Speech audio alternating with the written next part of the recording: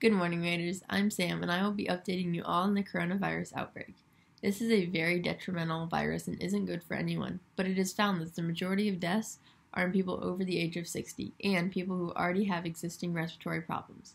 Globally, there have been about 183,000 reported cases and about 7,167 deaths in the United States.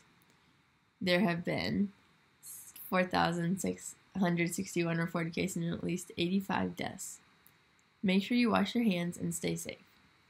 The Center for Disease Control and Prevention has issued guidelines for communities to follow to limit the spread of COVID 19, the disease caused by the coronavirus, which include recommendations for social distancing, a term the epidem- epidemiologists are using to refer to as a conscious effort to reduce close contact between people and hopefully stem the community transmission of the virus.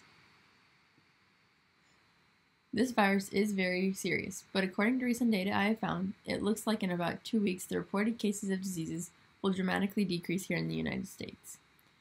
Even more because of how the cases have already started to decrease in places like China. Almost 70% of Starbucks, Verizon stores, and Apple stores have reopened due to the decrease in virus cases found in these places. So hopefully we'll get back to our normal lives soon. Until then, I wish you all the best of health and hope you all have a great time off. Make sure you're being smart, safe, and remember to wash your hands. I will report back to you tomorrow with more coronavirus information. And until till then, this is your host, Samantha Atkinson, signing out.